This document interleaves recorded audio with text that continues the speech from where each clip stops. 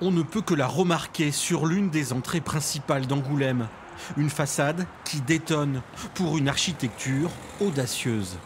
C'est le geste de Castro qui a voulu éventrer l'ancienne euh, brasserie qui date de 1912. Donc cette rencontre entre une architecture du, de première moitié du XXe siècle et puis avec un élément très futuriste, très, qui a un lien avec l'imaginaire euh, anticipateur de certaines bandes dessinées.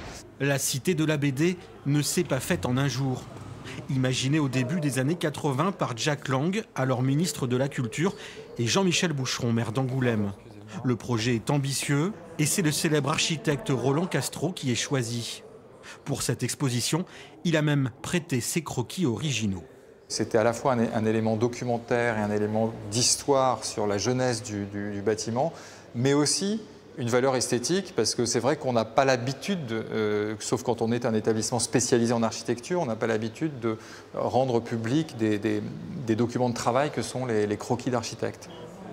Annick Richard a mis les pieds dans la cité quelques mois seulement après son inauguration en janvier 90.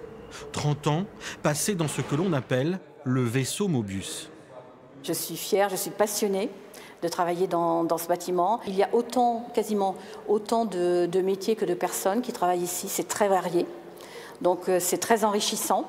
Et puis en plus, on a énormément de contacts avec l'extérieur, que ce soit du simple visiteur jusqu'au président de la République, en passant par les auteurs. L'exposition sur les 30 ans de la Cité internationale de la bande dessinée et de l'image est à voir gratuitement jusqu'au 3 janvier. Un édifice qui dispose du prestigieux label Architecture contemporaine remarquable.